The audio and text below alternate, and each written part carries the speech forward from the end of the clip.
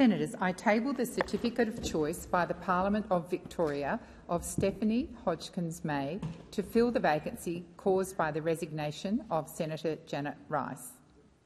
President, Senator Hodgins May, representing Victoria.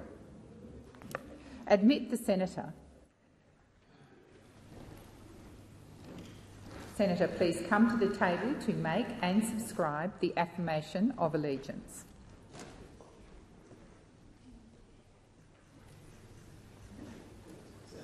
Hodgins May, please recite the affirmation on the card handed to you.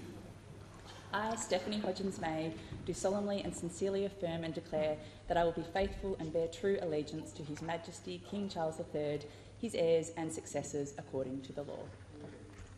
Senator, please sign the test roll and the senator's roll.